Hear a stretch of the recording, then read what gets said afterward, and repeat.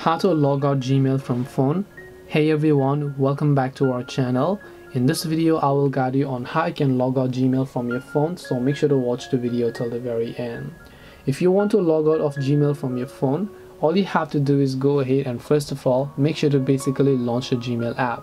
Now in case of Android, here you can see my Gmail account. Your Gmail account comes from your Google account and your Google account is basically your Android account because Google and Android runs because of each other, right?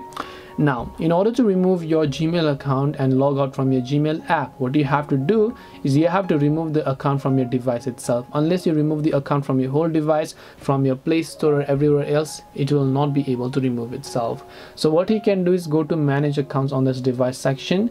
You'll find the Google account you've added tap on remove account tap on remove and this will remove the google account from your whole system including google chrome including google play store and anything as such this way you'll be able to log out Gmail from phone. Hope this video was very helpful. If you have got any questions then feel free to leave them down. Thank you for watching till the end and see you soon in the next video.